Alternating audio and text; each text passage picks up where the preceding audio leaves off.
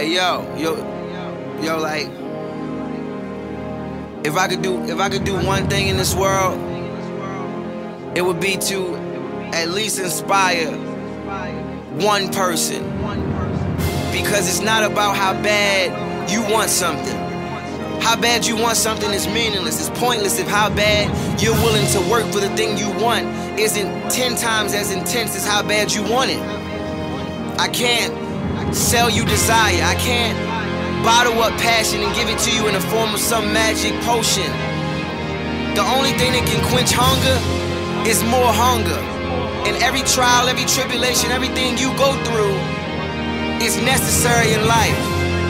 Because it's the lessons that you get from those things that most people can't and will not endure. Embrace it. I, I urge you all to embrace it because it's the one thing that will allow you to become king.